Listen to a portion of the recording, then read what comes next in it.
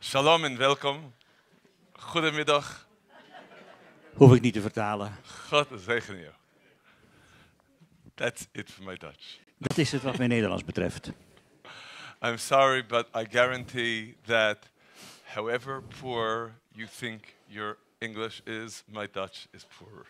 Ik kan u garanderen hoe arm u denkt dat uw Engels ook is, mijn Nederlands is nog veel armer.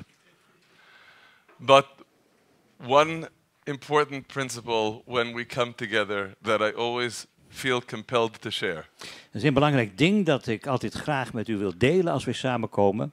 The words of the prophet Zephaniah, chapter 3, verse 9. De woorden van de profeet Sefania, Sefania 3, vers 9.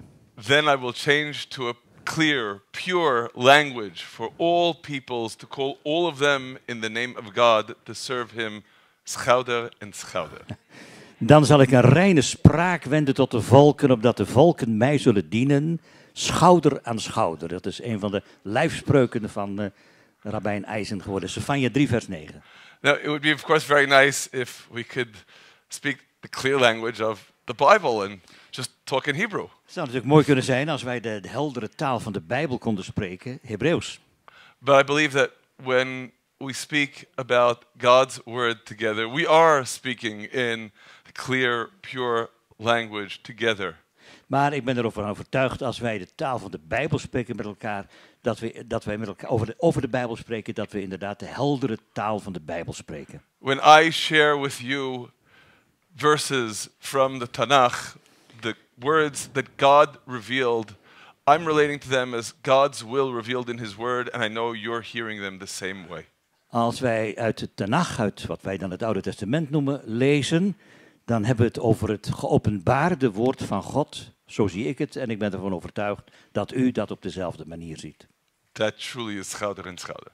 En zo staan we dus echt schouder aan schouder.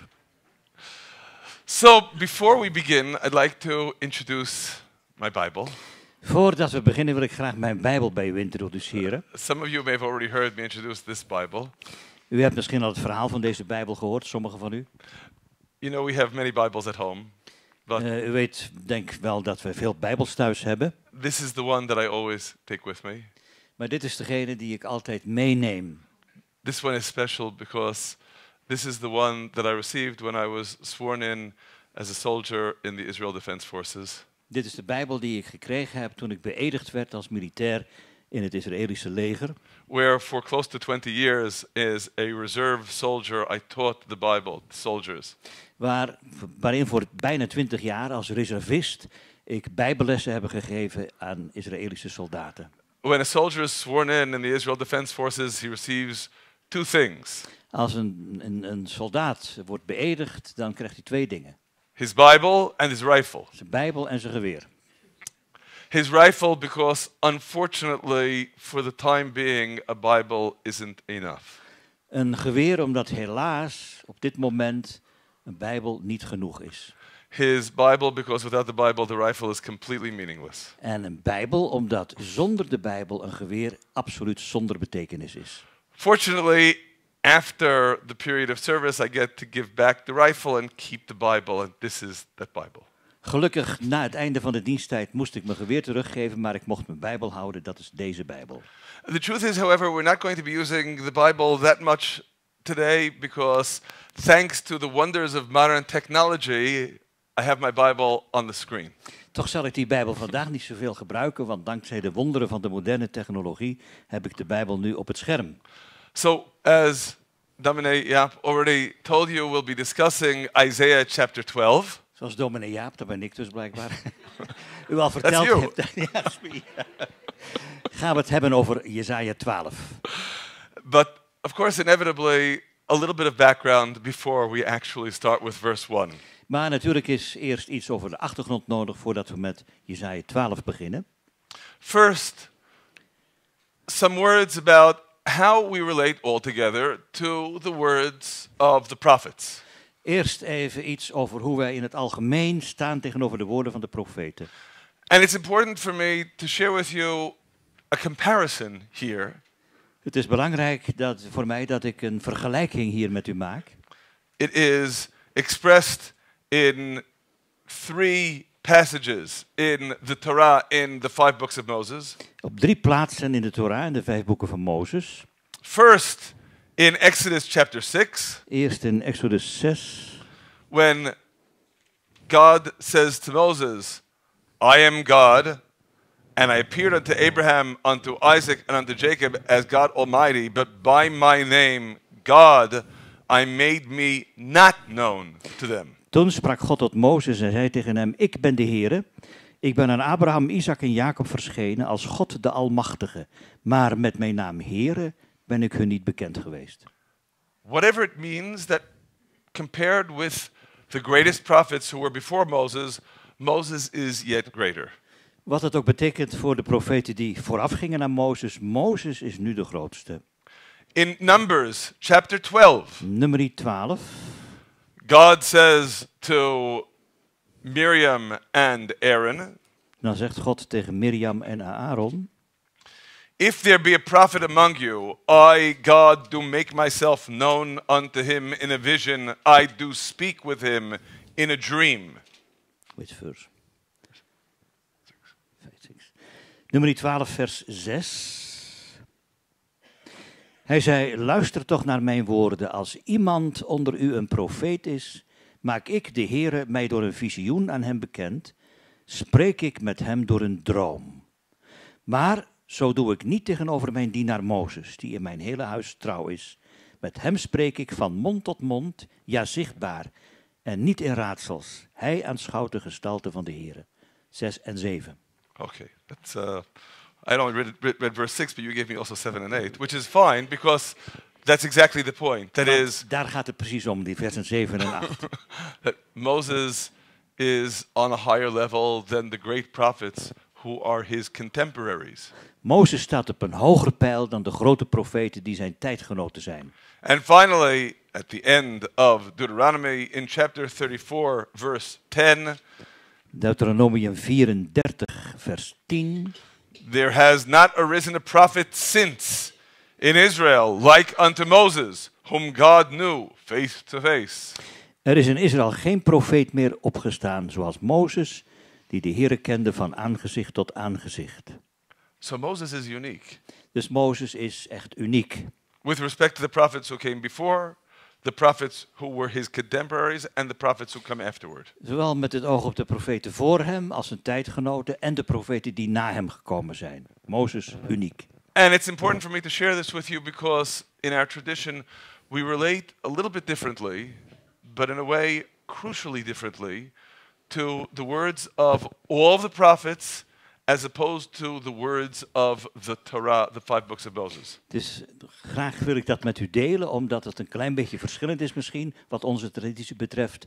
Wij re- relateren de woorden van de profeten aan de woorden van de Torah, van Moses receives the Torah as direct dictation from God himself.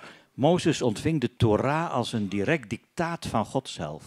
And so we relate to every word of the Torah as absolutely timeless because it comes from God, who is absolutely timeless. Dus wij zien elk woord van de Torah als absoluut tijdloos, omdat God eeuwig tijdloos is. As for all of the words of the prophets, they are all sent by God. De woorden van al de profeten zijn ook allemaal gezonden door God.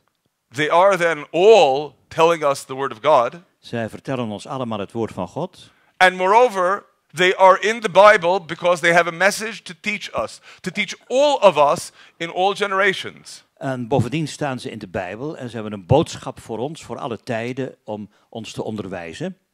But they are speaking in their words and in their time and in their circumstances. Maar zij spreken in hun woorden, in hun tijd en in hun omstandigheden. So, the first principle then is that when we read the words of the prophets, we need to consider what are they saying, to whom are they speaking, what are the circumstances, and then, second, to ask, what are they saying to us? Dus als we de profeten lezen, dan moeten we ons afvragen, wat zeggen ze? Tegen wie zeggen ze het? In welke omstandigheden, tijdsomstandigheden leven ze? En ons dan vervolgens de vraag stellen, wat is de boodschap voor ons nu? With respect to the Torah, as we read in the words of the last of the prophets in the Tanakh. Wat de Torah betreft, zoals we lezen in de laatste woorden van de profeet in Tanach, Malachi. In Malachi chapter 3, verse 22, remember the Torah, the teaching of Moses, my servant. Malachi 3, vers 20, Tw- 22. 22. Dank je. I don't have 22. It's, it's another. The Um, third from last verse. The third from last verse of Malachi. this here. Ah, here. Ja, dat is een andere telling in onze Bijbel. Denk aan de wet, Mal- Malachi 4, vers 4 is het in onze Bijbeluitgave. Denk aan de wet van Mozes, mijn dienaar, die ik hem geboden heb op Horeb voor heel Israël, aan de verordeningen en de bepalingen. That's with respect again to the words of the Torah. And now we turn to again the words of the prophets, Isaiah chapter 12. Nu gaan we naar de woorden van Jesaja 12. So, of course, we appreciate that in order to understand Isaiah chapter 12, we need to remember that chapter 12 comes right after chapter 11. Dus als we 12 lezen, dan moeten we ons realiseren dat hoofdstuk 12 direct komt na hoofdstuk 11. What happens in chapter 11? Wat gebeurt er in hoofdstuk 11? You all know very well. U kent dat hoofdstuk allemaal heel goed. In chapter 11, verse 1, a shoot will go forth from the stock of Jesse, and a bud will blossom from his roots.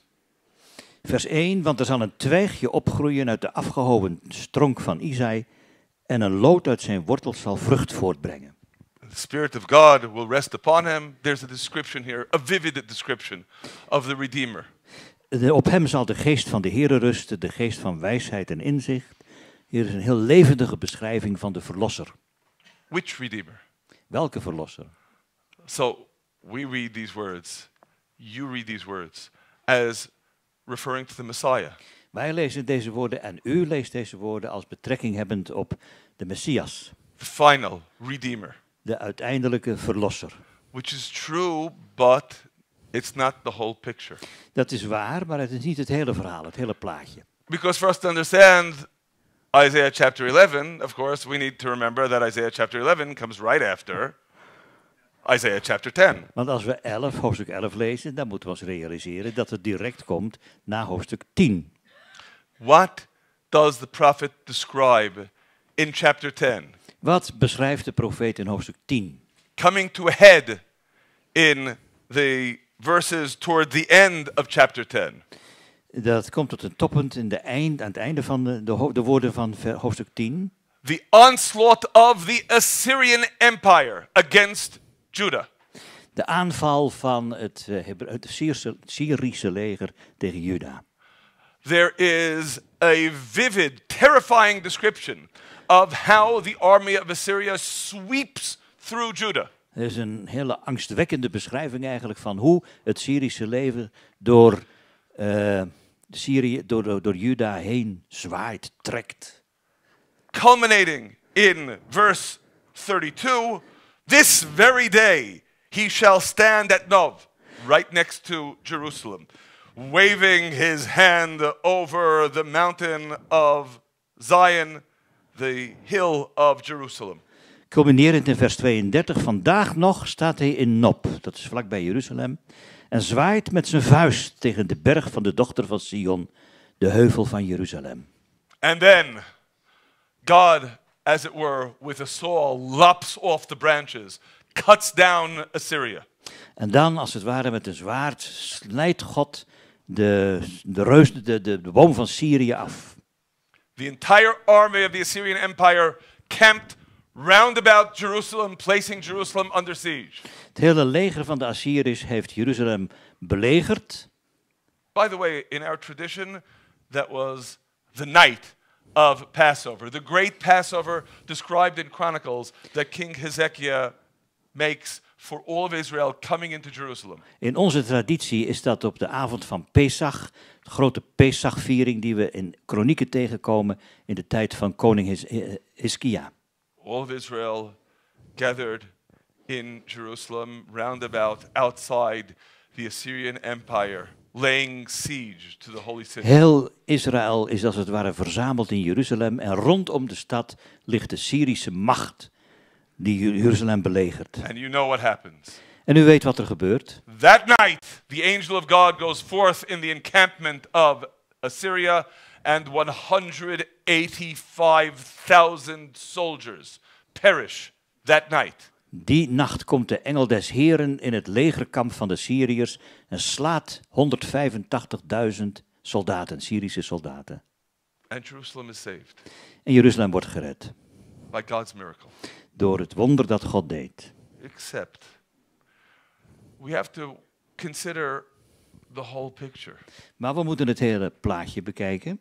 Yes, God saved Jerusalem Jawel, God heeft Jeruzalem gered. after almost all of Judah was overrun by the Assyrian Empire. Nadat bijna heel Juda door het eh, Syrische leger overwonnen was. At the night of that miracle, almost all of Judah had been conquered. Op de nacht van dat feest was bijna heel Jeruzalem overwonnen. Of heel Juda bedoel ik, was, ingenomen. it was a great miracle of salvation, but it did not come easily. Het was een groot wonder van redding, maar het kwam niet op een gemakkelijke manier. We bear this in mind as we We houden dat in gedachten. chapter 12. Als we nu naar hoofdstuk 12 gaan. And we read in chapter 12, verse 1. Hoe lezen we in Jezaja 12 vers 1? Op die dag zult u zeggen, ik dank u heren dat u toornig op mij geweest bent, maar uw toorn is afgekeerd en u troost mij. Except. Is that the translation? Is dat de vertaling? And of course, the problem here is we're still not speaking in that pure, clear language of the Bible. probleem is dat we nog niet met elkaar spreken in die heldere taal van de Bijbel.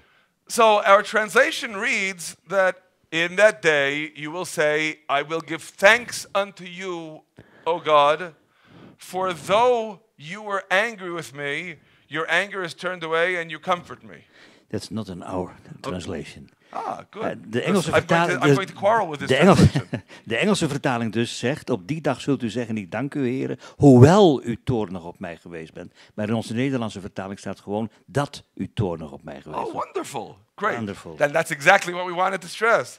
I'm Thank- glad to hear they got it right. Okay. Thanks to the Dutch translators. Uh, thanks to Dutch translators, absolutely. That is, the word though does not appear in the Hebrew. Het woord hoewel, dat dus in de Engelse vertaling voorkomt, komt in de Hebreeuwse tekst niet voor. And that's why what I would propose as a better translation, which I believe then is the Dutch translation, Dus de Nederlandse vertaling is beter. I, I, I didn't say that part, but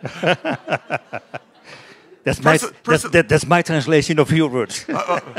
person, personally, I think the Hebrew is much, much better than either. But okay. I agree. I will give thanks unto you, O God, for you were angry with me. Ik dank u, heren, want u bent toornig op mij geweest. For you were angry with me? Why Want u was toornig op mij. why should we be giving thanks for you were angry with me? Waarom zouden we dankbaar zijn voor de toorn van God? Before we attempt to answer this question, we'll note that we have a similar kind of expression, possibly, depending upon the translation, Iets dergelijks hebben wij, afhankelijk van de vertaling, in Psalm 118. in Psalm 118. That is, in particular, we look at verse 21. Vers 21. which begins identically with the opening of Isaiah chapter 12, verse 1. I will give thanks unto you. Begint precies hetzelfde als het eerste vers van Jesaja 12. Ik zal u loven. And the continuation here is where the question of translations rises once again. One could Weer een kwestie van vertaling, ja. one could translate, For you answered me and are become my salvation. But the Hebrew word anitani can be rendered as for you answered me or for you afflicted me. Kwestie van vertaling dus weer opnieuw. Omdat u mij verhoord hebt staat er in onze Nederlandse vertaling. Maar dat woord, dat Hebreeuwse woord dat hier vertaald is met u hebt mij verhoord, kan ook vertaald worden met u bent tegen mij gekomen. U hebt mij aangevallen zelfs. Afflicted. So we may say in Isaiah, we read, I will give thanks to you, God, for you were angry with me. And in Psalm 118, in verse 21, I will give thanks to you for you afflicted me. Dus in Jezaja, ik, ben, u, ik dank u omdat u toornig bent geweest. En hier in Psalm 118, ik dank u omdat u, mij, u tegen mij gekomen bent, mij aangevallen hebt. Pijn gedaan kan het ook betekenen, geloof ik, hè? afflict. Zo. While Okay. either translation is possible, we'll Iedere vertaling is mogelijk. in the earlier words of the psalm, I think there are indications that for you afflicted me is a better fit in context. Ik denk dat in de context van de psalm en de woorden die eraan vooraf gaan, een vertaling als aanvallen beter past. Consider in verse 18 Vers 18. God has chastened me sore, but he has not given me over unto death, but he has chastened me, he has rebuked me. De Heer heeft mij wel zwaar gestraft of gekastijd, maar aan de dood heeft hij mij niet overgegeven. And still in all, in verse 19, likewise, Vers I will 19, give thanks hetzelfde. Ik zal de Heer loven. And in the continuation of the psalm as well, in verse 22, Vers 22. the stone which the builders rejected is become the chief cornerstone. De steen die de bouwers verworpen hebben is tot een hoeksteen geworden. So there is the first stage when God chastens me sore, when the stone is rejected by the builders. Is dus in de eerste plaats, ehm, de Heer heeft mij gestraft. En dan staat er de steen die verworpen is. When you afflicted me, Als u tegen mij kwam of mij aanviel. afterward, there is the salvation. En daarna komt het heil, de redding. The stone becomes the chief cornerstone. Dan wordt de steen de hoeksteen, de belangrijkste hoeksteen. Indeed, in verse 23, this is God's doing. It is marvelous in our eyes. Vers 23, dit is door de Heere geschied, het is wonderlijk in onze ogen. But why give thanks? Maar waarom moeten we daarvoor danken?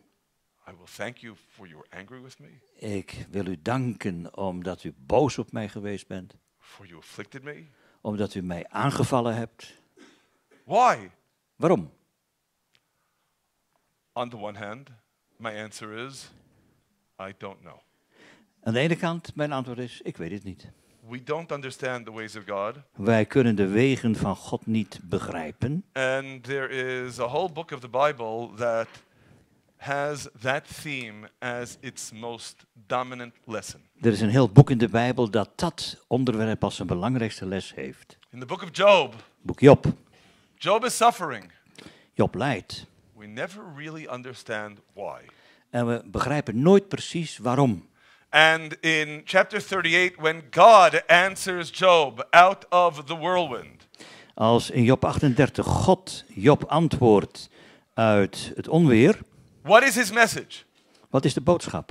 In verse 4, Vers 4. where were you when I laid the foundations of the earth? Tell if you have the understanding.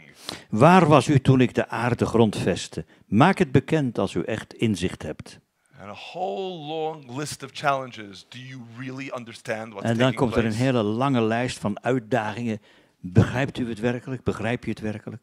And Job gets the message. In chapter 40, En Job, he answers God in verse 4 Behold, I am of small account.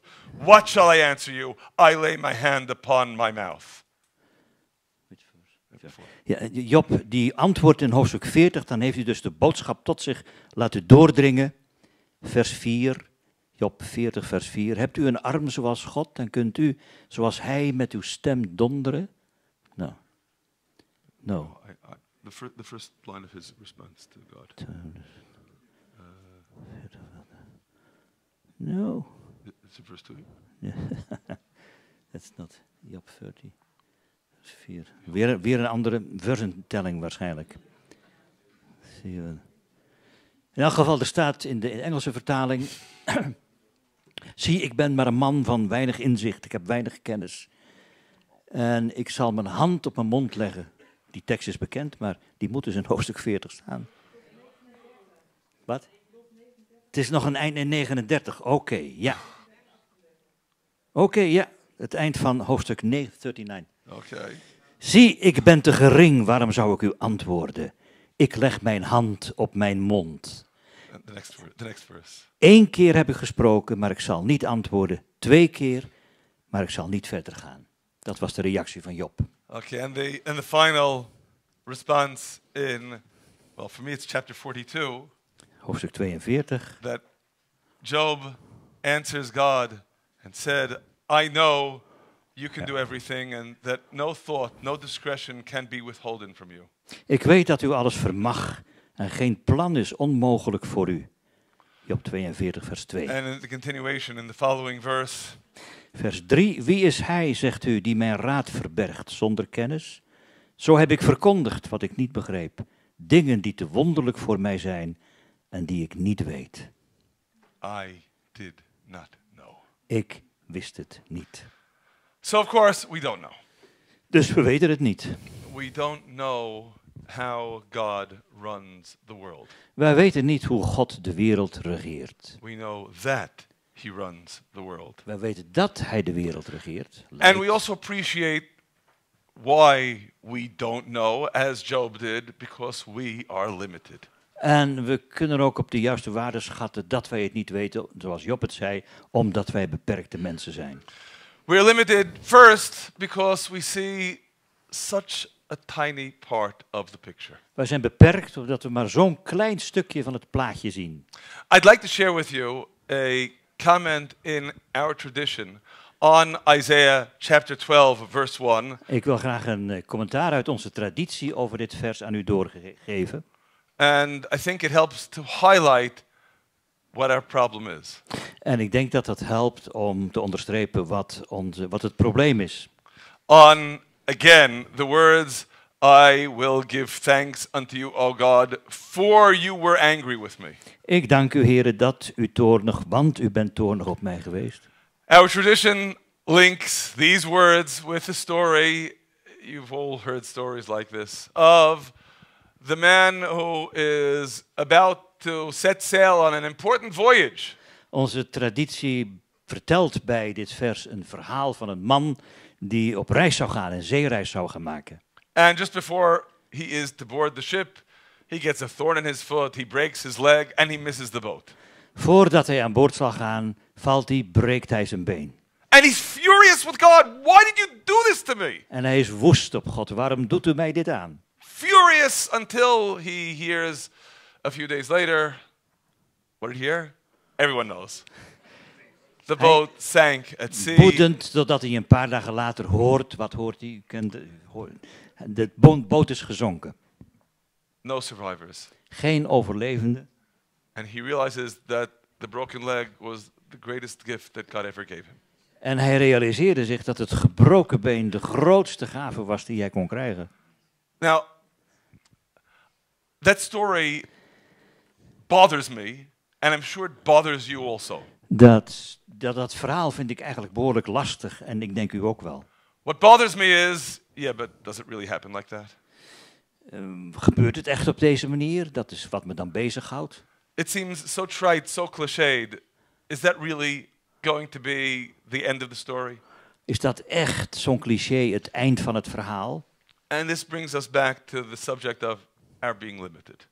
En dat brengt ons weer terug tot het onderwerp dat wij beperkte mensen zijn. As we read in Psalm 90, Zoals we in verse Psalm, 4, Psalm 90, vers 4 lezen.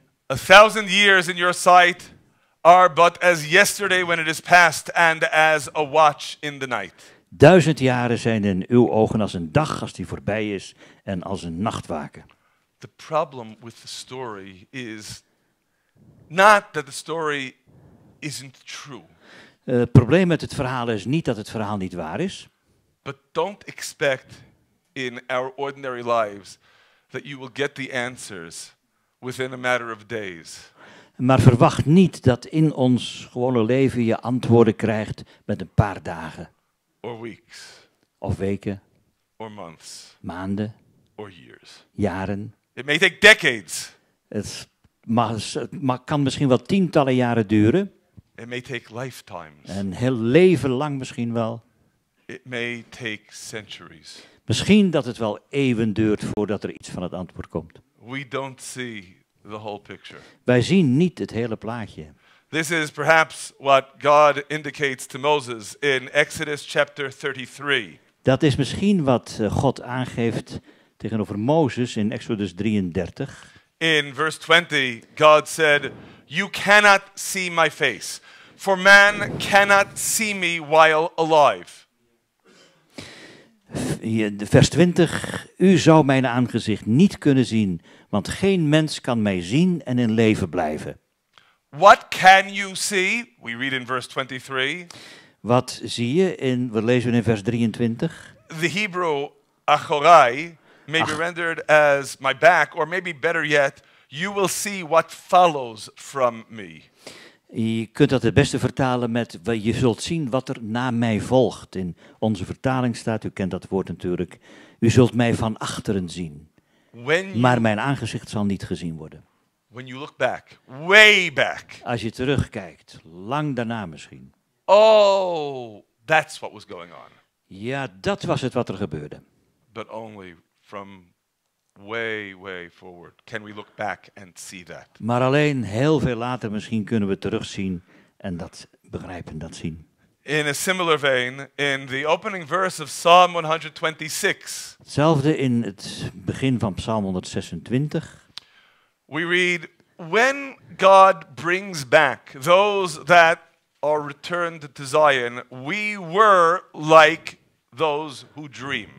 Toen de Heere de gevangenen van Sion terug deed keren, waren wij als mensen die droomden. Now, there's a grammatical problem here because when we read about God bringing back those who are returned to Zion, we're speaking of the future.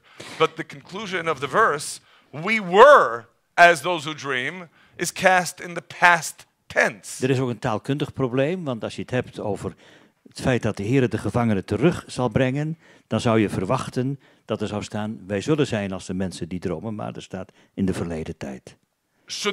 In onze Nederlandse vertaling trouwens allebei de keer in verleden tijd. Maar dat is, dat is altijd lastig vanuit het Hebreeuws. So? Even tussendoor. we will be as dreamers. Eh, moeten we dus vertalen met wij zullen als de, zijn als degene die dromen? And one interpretation from the 19th century ethicists is now what the verse is telling you is on that blessed day when God returns those who are returned to Zion, when everything will become clear, when all of the fog will dissipate, then we will look back on the past and say, Oh, we were dreaming. Er is een uitleg uit de 19e eeuw die zegt: Op die grote dag, als God de gevangenen van Sion terugbrengt en wij zien terug. Oh, wij verstonden de situatie niet, vertel ik maar even vrij. Wij waren als degene die droomde toen al die dingen over ons kwamen. Later zullen we ons dat realiseren. A dreamer has a perception of reality, but it is a distorted perception of reality. En iemand die droomt heeft een idee van de werkelijkheid, maar het is een verstoord idee van de werkelijkheid. You're asleep in a thunderstorm, and there is a clap of thunder outside, and in your dream you hear it as a cannon. Je ligt te slapen en je droomt en buiten is er een onweer aan de gang. Je hoort een enorme onweersklap en je denkt, oh, er gaat een kanon af. And you wake up, where's the cannon? Oh, it was a dream. En je wordt wakker, waar is het kanon? Het was een droom. On the blessed day when we wake up, we'll look back and say, we were dreaming. Op die gezegende dag worden we wakker, we kijken terug en we zeggen, we droomden. We didn't see the full picture. We zagen niet het hele plaatje. Another aspect, besides the limitations of time, Een ander aspect, behalve de beperking van tijd, is the distortion of not really understanding at all what God is doing. dat we helemaal niet begrijpen, doorgronden wat God aan het doen is. So, for example, in a negative sense, we read in Ecclesiastes chapter 5. Zo bijvoorbeeld in een negatieve betekenis lezen we in eh, Prediker 5. In verse 12, there are riches kept by their owner to his hurt. Er is een ziekmakend kwaad dat ik zag onder de zon. Rijkdom door zijn bezitters bewaard tot hun eigen kwaad. Prediker 5, vers 12. Someone wins the lottery and thinks it's the greatest thing that ever happened. Iemand wint de loterij en dat is het beste wat mooit overkomen is. How many stories do we hear? It turned out to be the ruin of his life. The worst Hoeveel verhalen horen we niet dat het uiteindelijk zo is dat het levens verwoest. So we think we see what's happening, but we really don't understand. Dus we denken dat we zien wat er gebeurt, maar we begrijpen het niet echt. Well, that's in a negative case. Let's consider Dat is een another couple of examples. voorbeeld. I think, Positief voorbeeld nu. I think it's instructive to consider a couple of illustrations in the positive direction. Nu wil ik graag een paar eh, voorbeelden, positieve voorbeelden laten zien. In Exodus chapter 5, we read about the consequences of Moses coming to Pharaoh to demand that Pharaoh should send Israel free. In Exodus 5 lezen we iets van de consequenties toen Mozes bij de farao kwam om de farao te zeggen dat hij het volk moest, laten vrijla moest vrijlaten. Did he accomplish anything? Did anything change? Heeft hij iets bereikt, Mozes? Oh, yes, it got Ver- much, much worse. Veranderde er wat? Jawel, zeker. Het werd veel erger. In chapter 5, verse 7, Pharaoh commands, You shall no more give the people straw to make brick as heretofore. Let them go and gather straw for themselves. Vers 7. U mag voortaan geen stroom meer aan het volk verstrekken om de bakstenen te maken zoals voorheen. Laten ze zelf maar stro gaan verzamelen. And the tally of the bricks which they did make heretofore, you shall lay upon them. You shall not diminish any of it. En het aantal bakstenen dat zij voorheen maakten, moet u hun ook nu weer opleggen. U mag daar niets van afdoen, want ze zijn lui. Which, of course, is impossible. Dat is natuurlijk onmogelijk. They can't possibly produce the same number of bricks if now they have to spend their time gathering straw. Ze kunnen natuurlijk niet hetzelfde aantal bakstenen produceren als ze ook nog hun stroom moeten verzamelen. And we read of the terrible suffering, the anguish of the slaves. En we le- lezen van het geweldige lijden dat de slaven nu overkomt. In verse 12, so the people were scattered abroad throughout all the land of Egypt to gather stubble for straw. Toen, vers 12, toen verspreidde het volk zich over heel het land Egypte om stoppels te verzamelen in plaats van stro. And verse 14, the officers of the people of Israel, whom Pharaoh's taskmasters had set over them, were beaten because they weren't delivering enough bricks. Vers 14, de voormannen van de Israëlieten die de slavendrijvers van de farao over hen aangesteld hadden, werden geslagen. And we can well appreciate what they say to Moses in verse 21. En we kunnen heel goed plaatsen wat ze tegen Mozes zeggen in vers 21. May God look upon you and judge, because you have made our Savior to be abhorred. You've made us stink in the eyes of Pharaoh and in the eyes of his servants to put a sword in their hand to slay us.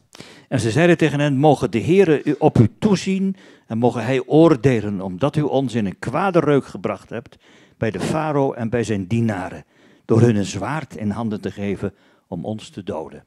And Moses himself has his doubts. En Mozes zelf heeft ook zo zijn twijfels.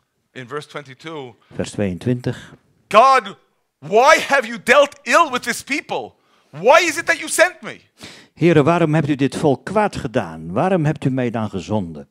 For since I came to Pharaoh to speak in your name, he has dealt ill with this people, and you haven't delivered them at all.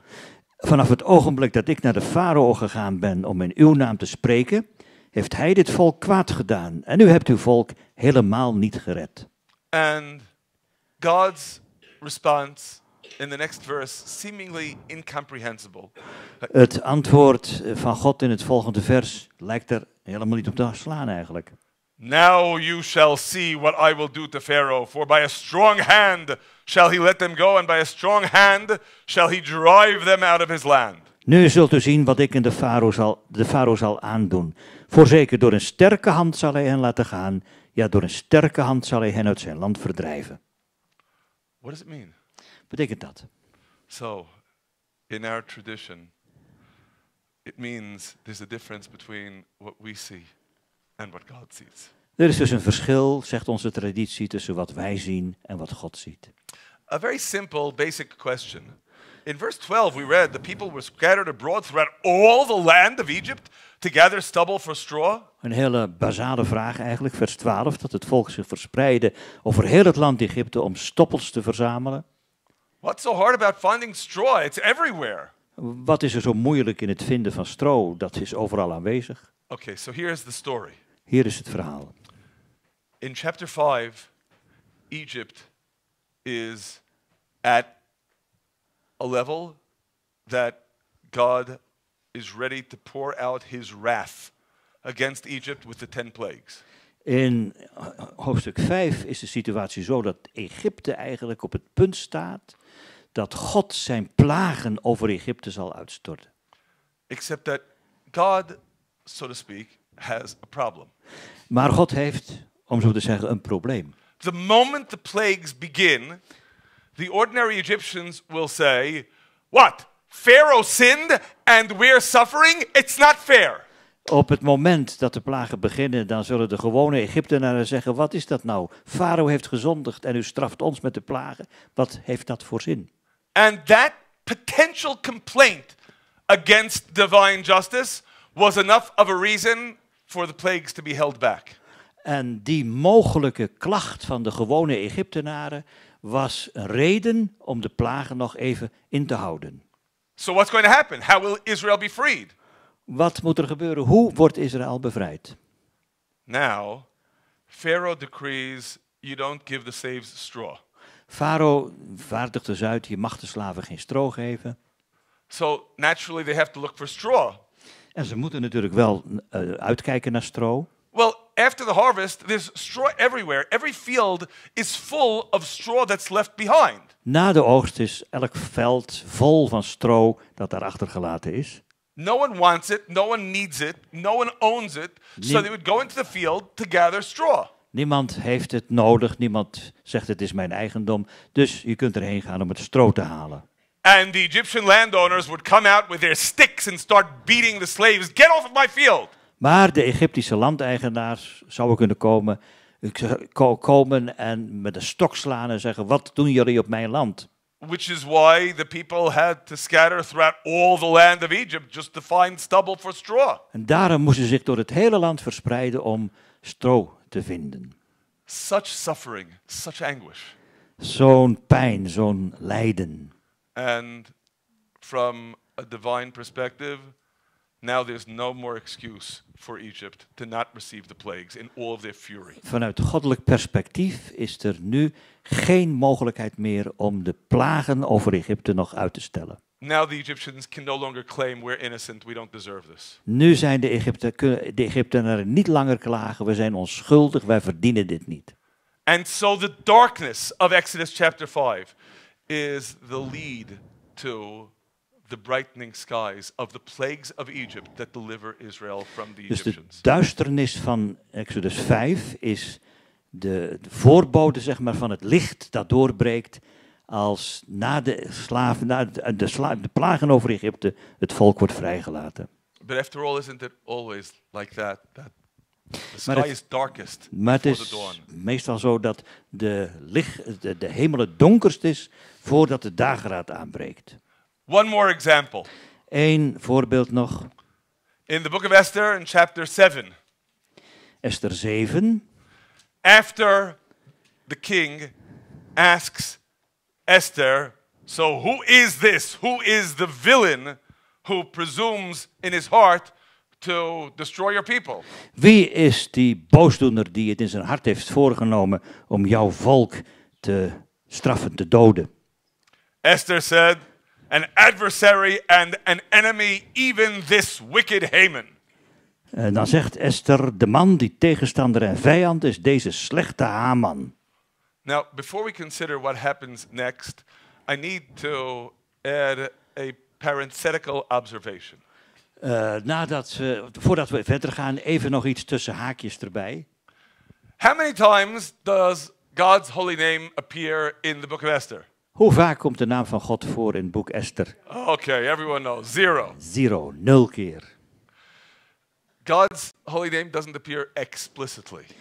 Eh, expliciet komt de heilige naam van God niet voor in het boek Esther. We have an ancient tradition. We hebben een oude traditie. Of course, when we read about King Ahasuerus in the book of Esther, Als we lezen over koning Ahasveros in het boek Esther, well, then we're talking about King Ah- Ahasuerus. dan hebben we het natuurlijk over koning Ahasveros. But many times, most times, it just says the king. Maar op de meeste plaatsen staat alleen maar de koning. When it says the king, Als er staat de koning, it refers to that king, but it also refers to the king, dan heeft het betrekking op die koning, maar ook op de koning, God. God. Okay, now we return to chapter 7. It was King Ahasuerus who asked Esther who the villain is. Dus de, de koning vroeg wie de boosdoener was.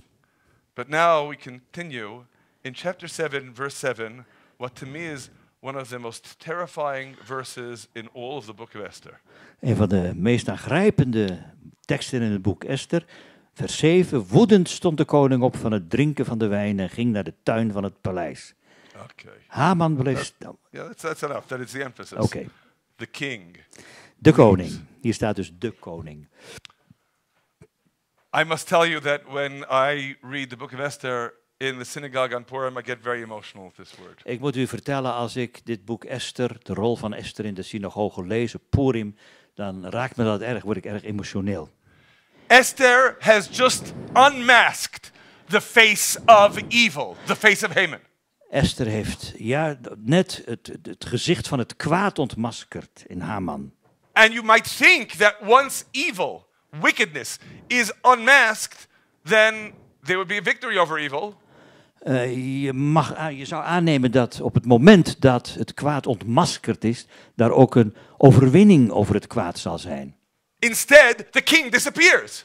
In plaats daarvan verdwijnt de koning. And Esther is left all alone with Haman. En Esther wordt helemaal alleen met Haman achtergelaten. Can you imagine how terrifying?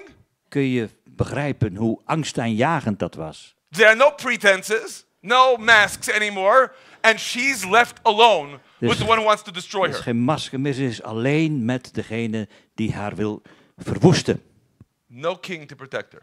Geen koning om haar te beschermen. Uh, that is until verse 8. Dat is tot vers 8. Then the king returned out of the palace garden into the place of the banquet of wine. And Haman was fallen upon the couch wherein Esther was, and that's it. That's the end. Toen de koning uit de tuin van het paleis terugkwam in de zaal waar men de wijn gedronken had, was Haman neergevallen op het rustbed waarop Esther lag. And the king said, En de koning zei, zou hij ook nog de koningin in het huis, in huis aanranden in mijn bijzijn? Toen dit woord uit de mond van de koning was gekomen, bedekte men het gezicht van Haman. and that's the end of the story of Haman. Dat is het eind van het verhaal wat Haman betreft.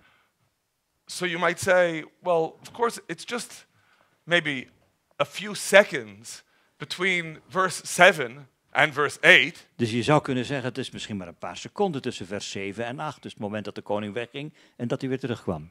First of all, I'm sure for Esther it seemed like an awfully long time.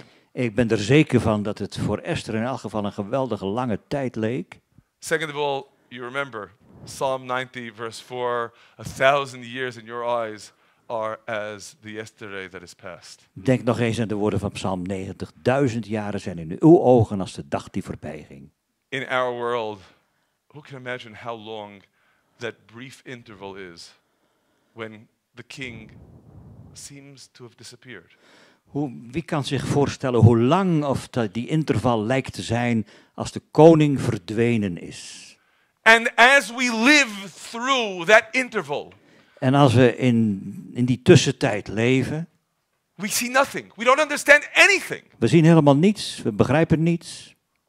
All we could do is scream out, God, why are you angry with me? Why are you afflicting me? En we kunnen alleen maar uitroepen, God, waarom bent u boos op mij? Waarom valt u mij aan? It's only afterward that we look back and say, I give thanks to you, God, for you were angry with me. I give thanks to you, God, for you afflicted me. Now I understand. Only now do I realize you were comforting me all along. Pas daarna kunnen we zien, terugzien en zeggen, ik dank u dat u toornig op mij geweest bent. Ik dank u dat u mij aangevallen hebt, want al die tijd was u er toch om mij te troosten. Which gives us a crucial insight I think, into life in general. Dat geeft ons een heel belangrijk inzicht in het leven in het algemeen. Because life will always present us with those moments when we stumble and fall, those moments when we are in darkness. Het leven is vol van die momenten dat we struikelen en vallen, dat we in donkerheid verkeren. We read in Micha chapter 7, verse 8 We lezen in Micha 7. Rejoice not against me, O my enemy. When I am fallen, I am arisen. When I sit in darkness, God is a light unto me. 7 vers 8. Verblijd u niet over mij, mijn vijandin, want als ik gevallen ben, zal ik weer opstaan. Als ik in duisternis zit, is de Heere mij een licht. We have a comment on this verse in our tradition. Een commentaar op dit vers uit onze traditie. When I am fallen, I am arisen. If I would not have fallen, I would not have arisen. Als ik gevallen ben, zal ik opstaan. En als ik niet gevallen zou zijn, zou ik niet opgestaan zijn. When I sit in darkness, God is a light unto me. If I would not have sat in darkness, God would not have been a light. En als ik niet in donkerheid gezeten had, zou God niet een licht voor mij zijn geworden. The darkness really is what summons the dawn. De duisternis is het die de dageraad oproept.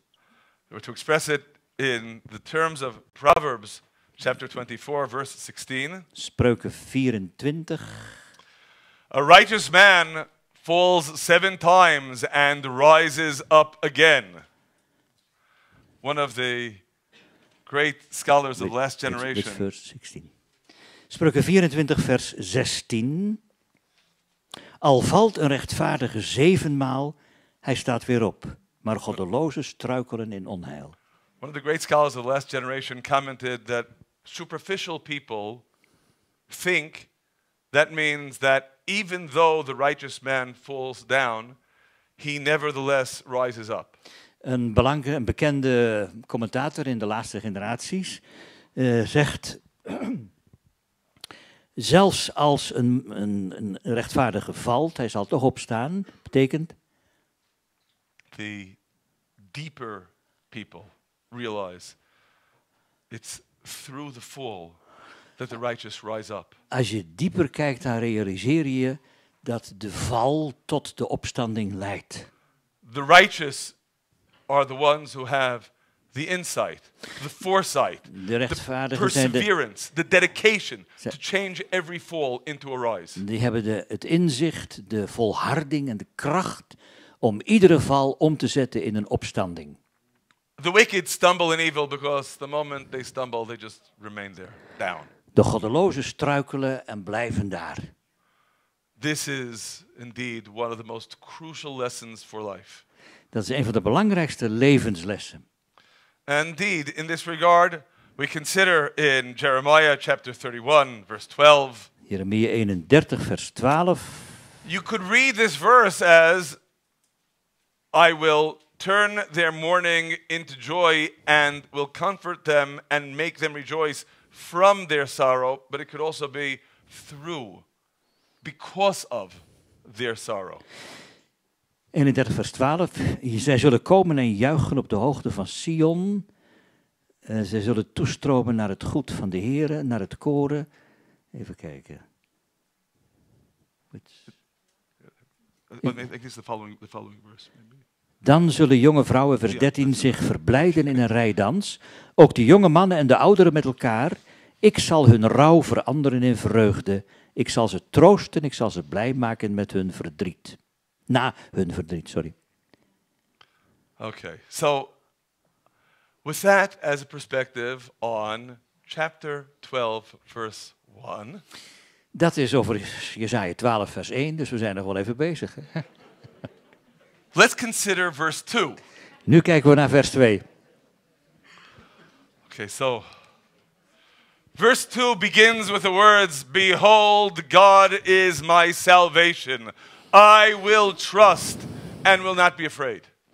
Zie, God is mijn heil. Ik zal vertrouwen en geen angst hebben. Trust. Vertrouw. Trust and not being afraid Trost, het, eh, vertrouwen en geen angst hebben. is something that you develop more than anywhere else when the circumstances are that you didn't know what was happening and only afterward you realized Dat it all makes sense. iets wat zich ontwikkelt als je dus in zo'n situatie bent en achteraf je realiseert, dat was, ik had vertrouwen, er was vertrouwen. When you were afraid and you realized God was really there all along, the next time you trust.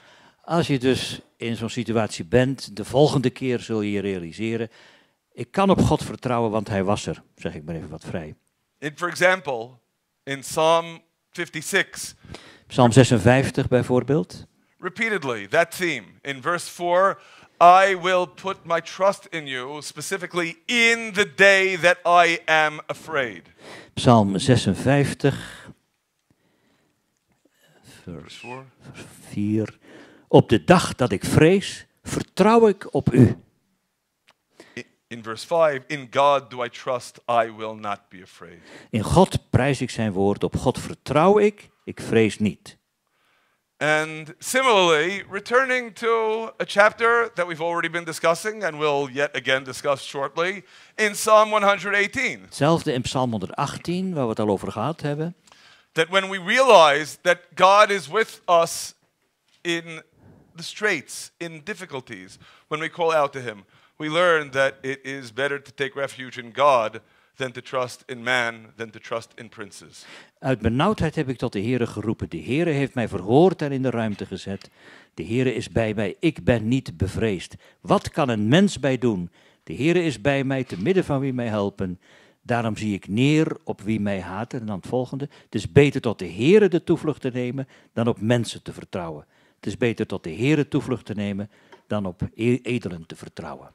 But in particular, I want to consider the second part of verse 2, which is admittedly a difficult verse to translate. Het tweede helft van vers 2 van hoofdstuk 12 weer. Moeilijk vers om te vertalen. So one could translate the continuation as, and this is the first of the translations that you see over here, that God is my strength and song, and he has become my salvation. Want mijn kracht en mijn psalm is de Heere Heere en hij is mij tot heil geworden. Dat is de eerste vertaling.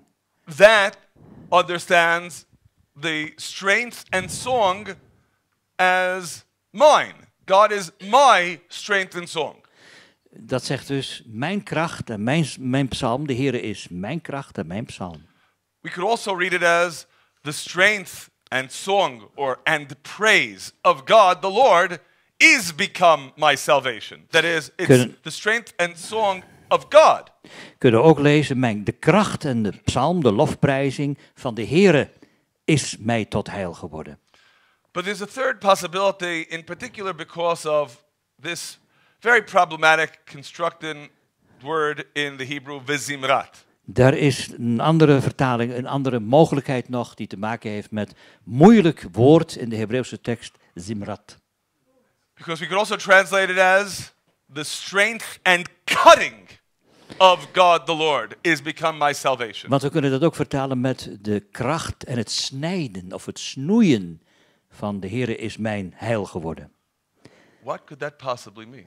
Wat kan dat betekenen? The same problem exists in the second verse of the song at the sea in Exodus chapter 15 verse 2. The exact same expression. Hetzelfde vinden we in het lied van de zee, Exodus 15.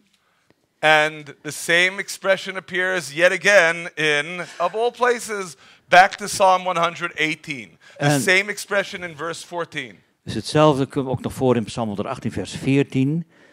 Now, before we consider what this could possibly mean, I need to explain the meaning of the Hebrew vizimrat with a short Hebrew lesson. Ik moet eerst, om, eh, voor ik verder kan gaan, een, een kort Hebreeuws lesje geven. Het gaat over dat woord wezimrat. All of the Hebrew experts here undoubtedly know that all of biblical Hebrew is based upon words with three letter roots. Alle Hebreeuwse experts hier in ons midden weten dat Bijbels Hebreeuws, alle woorden in het Bijbels Hebreeuws zijn gebaseerd op drie letterige stammen. So the word has the three root letters Zayin, Mem, Resh. Dus het woord Zimrat heeft de drie stamletters Zayin, Mem, Resh, Z, M, R. What does it mean? Wat betekent dat? Ah, that's the problem. Dat is het probleem. On the one hand, we encounter that root here in Judges chapter 5, verse 3, in the Song of Deborah. In het lied van Deborah en Richteren 5 komt dat ook voor, 5 vers 3. Azamer, I will sing praise. Azamer, ik zal lof prijzen. Likewise, in the Song of King David, Zelfde in het lied van David, in the second book of Samuel, in chapter 22, 2 verse Samuel 50. 22 vers 50. Azamer, I will sing praise. Weer Azamer, ik zal prijzen, lof prijzen. I'll just note that at the beginning of the next chapter, when King David is called Neim Zimirot Yisrael, it's also the same root, and we translate that as the sweet singer of Israel. The sweet singer of Israel. Geliefd in de psalmen van Israël, zo staat het in onze vertalingen. Yeah, but the same root letters themselves appear with a completely different definition in Leviticus chapter 25. Maar diezelfde stamletters die komen voor in een totaal andere betekenis in Leviticus 25. We read about the sabbatical year when we leave the land and its produce alone. We lezen daarover het Sabbatsjaar waar we het land laten rusten. And the Torah tells us, You shall not prune your vineyard. En de Torah schrijft daarvoor dat je je wijngaard niet mag snoeien. Prune, tizmor, same root. En daar staat kiesmor, dat is datzelfde ZMR. Likewise in the following verse, in verse 4. Zoals ook in het volgende vers, vers 4. Similarly in Isaiah chapter 5, Ook in Jezaja 5, where we read the parable of God's vineyard. de parabel van Gods wijngaard, het lied van de wijngaard. In verse 6, it shall not be pruned, lo yizamer. Again, the same root. In vers 6, lo Yizamer, weer diezelfde letters, zal niet gesnoeid worden. What in the world could this possibly mean to say that God's strength and pruning, Wat wil dat nou in vredesnaam zeggen? Gods kracht en zijn snoeien that is become my salvation? is mij tot heil geworden. And of course, inevitably, after our lengthy discussion of verse 1, En na onze uitvoerige discussie over vers 1 I think we can understand the answer. kunnen we misschien het antwoord verstaan. Why do you prune a Wat, tree? waarom snoei je een boom? Any experts on growing trees here? Why do you prune a tree? Yes? To, grow, to be fruitful. To be, fruit, to be fruitful. Om vrucht te, voor te brengen. But you know, when you cut those branches, they're living branches. Als je die takken afsnijdt, dat zijn levende takken. Well, tr- trees may not feel pain, but they certainly experience the trauma of being cut. Bomen voelen misschien wel geen pijn, maar ze hebben wel de trauma van het afgesneden worden. When God cuts our branches, it's not just traumatic, it's also excruciatingly painful. Als God ons op die manier snoeit, dan is dat niet alleen maar traumatisch, maar werkelijk geweldig pijnlijk. God, why are you doing this to me? Waarom doet u dit mij aan, God? To make you fruitful, Om je vruchtdragend te maken. to enable you to grow. Om je in staat te stellen om te groeien. In the same way that we understand, I will give thanks to you, God, for you were angry. Dezelfde manier als we begrijpen, ik dank u God, omdat u toornig op mij geweest bent. Because that anger afterward emerges as the means through which you comfort me. Want die boosheid, die toorn, blijkt achteraf het middel te zijn geweest waardoor u mij troost. Once I learn to trust in you, I realize that your strength and pruning of me with all of the pain and the anguish is become my salvation. Op het moment dat ik me dat realiseer, bedenk ik dat uw toornig zijn en uw snoeien mij tot heil geworden is. And that's how we get to verse 3. En zo komen we dan bij vers 3. Therefore, with joy you shall draw water out of the fountains of salvation. U zult met vreugde water scheppen uit de bronnen van het heil. Uh, again, uh, correction and translation. I hope you have it right. it's fountains. It's not wells. In the Hebrew, ma'ayane. Mayanisten, dat, dat zijn fonteinen en geen bronnen. What's the difference between a well and a fountain? Wat is het verschil tussen een bron en een fontein? Okay, right. The, the well just sits there. The, waters bron- well up continuously in the fountain. De bron die zit er alleen maar, terwijl in een fontein het water voortdurend omhoog komt. We don't just experience God's salvation one time. We ervaren Gods redding niet maar één keer. We experience it all the time. God's salvation is always welling up from We- the depths of the earth. We ervaren dat telkens weer dat het opkomt uit de diepten van de aarde. And verse 4 In that day you will say, Give thanks unto God, call in his name, declare his doings among the peoples, make mention that his name is exalted. Op die dag zult u zeggen, dank de Heere, roep zijn naam aan, maak zijn daden bekend onder de volken, roep in herinnering dat zijn naam hoog verheven is. What does exalted mean here? Wat betekent hoog verheven hier? It's significant to note the way exalted, the same word in the Hebrew, nisgav, appears woord earlier in Isaiah. in het Hebreeuws, niskaf, komt eerder in Jezaja voor. In Isaiah chapter 2, verse 11. Jezaja 2, vers 11. The lofty looks of man shall be humbled, and the haughtiness of men shall be bowed down. And God alone will be exalted in that day. De hoogmoedige ogen van de mensen zullen neergeslagen worden en de trots van de mannen zal neergebogen worden. Alleen de Heere zal op die dag hoog verheven zijn. Likewise in verse 17. Ook in vers 17 daar. And the loftiness of man shall be bowed down, and the haughtiness of men shall be humbled, and God alone will be exalted in that day. De hoogmoed van de mensen zal vernederd worden, de trots van de mannen zal neergebogen worden. Alleen de Heere zal op die dag hoog verheven zijn. The theme of associating exalted with alone, we see also in Psalm 148. Die relatie tussen 13. hoog verheven en alleen vinden we ook in Psalm 48 148. Let them praise the name of God, for his name alone is exalted. His majesty is above the earth and heaven. Psalm 148, vers 13. Even kijken. Laten zij de naam van de Heere loven, want zijn naam alleen is hoog verheven. Zijn majesteit welft zich over de aarde en hemel. Exalted goes with alone. Exalted, dus hoog verheven, komt altijd samen met alleen. Only God can do this. Alleen God kan dat doen. That we realize we see the world, we all see the world, but only through the flesh and blood eyes of human beings. Wij allemaal zien de wereld maar alleen maar door de ogen van mensen van vlees en bloed. Only the surface. Alleen het oppervlakte. Man sees with the eyes, only God sees the heart. Man, de mens ziet aan wat voor ogen is, alleen God ziet het hart. And so it is with the realization of everything that we've seen.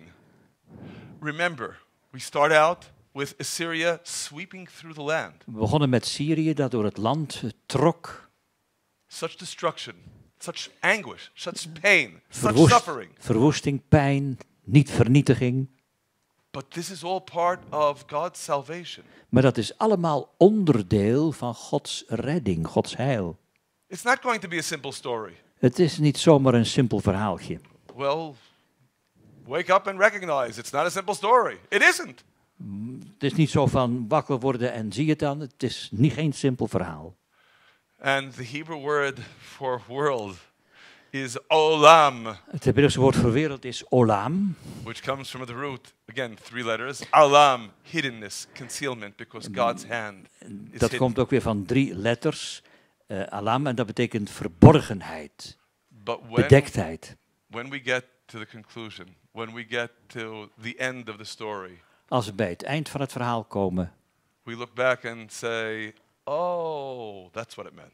dan zullen we terug en dan zeggen we, dat was het dus. Dat this, was bedoeld. this chapter In verse 5, Vers 5. sing unto God, for he has done gloriously, he has done majestically. This is made known in all the earth. Zing psalmen voor de Heer, want Hij heeft zeer grote dingen gedaan. Laat dit bekend worden over heel de aarde. Now that's all the earth, but verse 6 is especially for a certain part of the earth. Vers 6, dat gaat dus over de hele aarde, maar vers 6 gaat over een bepaald deel van de aarde. Juich en zing vrolijk, inwoonster van Sion, want groot in uw midden is de heilige van Israël. Okay, so that's specifically the inhabitant of Zion.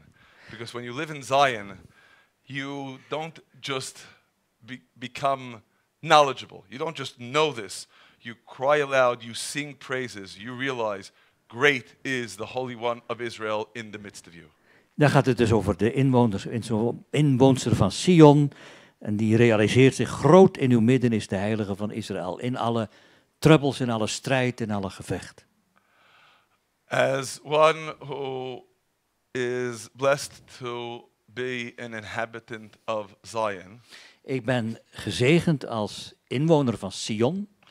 I'm very grateful for the opportunity to share these words of the prophet Isaiah with each and every one of you. Ik ben erg dankbaar dat ik deze woorden van de profeet Jezaja met u, met ieder van u mag delen. especially in the times in which we live here. Speciaal in de tijd waarin we nu leven. I don't have to tell you, there's a lot of darkness out there. Ik hoef u niet te vertellen, er is geweldig veel duisternis buiten.